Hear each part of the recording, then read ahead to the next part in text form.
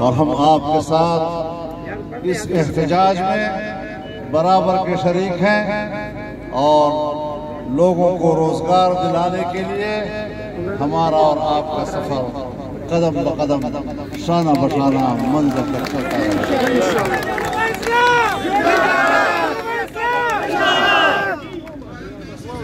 मेरे मोहतरम दोस्तों,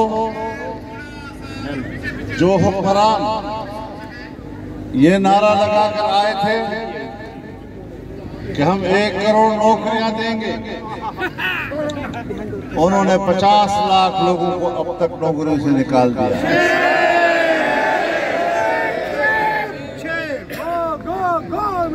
आप लोग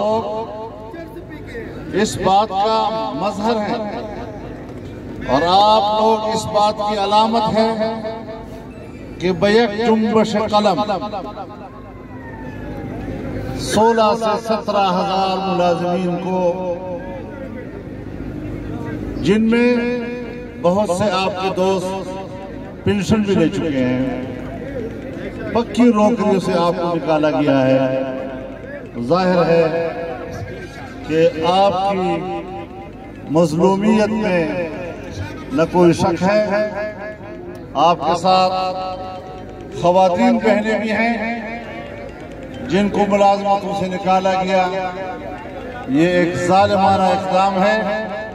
लेकिन आपके खिलाफ फैसला देते वक्त उन्होंने बाकायदा एक्ट को मनसूख किया है।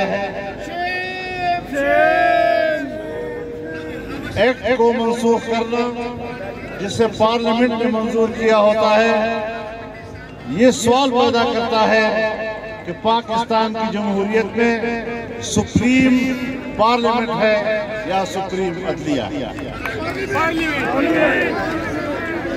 ज़ाहिर है कि आइन की रूह से सुप्रीम पार्लियामेंट है, उसकी तशरी का हक तो अदलिया को हासिल है लेकिन अगर उसको खत्म करना भी है, तब भी पार्लियामेंट के पास भेजना चाहिए था। खत्म करके मुलाजमतों से निकालना, ये शायद इंसाफ का तकाजा नहीं।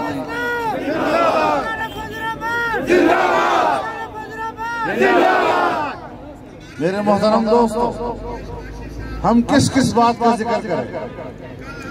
कौन कौन सी बात का ज़िक्र करें? जो कहा गया पहली मरतबा एक हुकूमत ऐसी पाकिस्तान में नज़र आ रही है।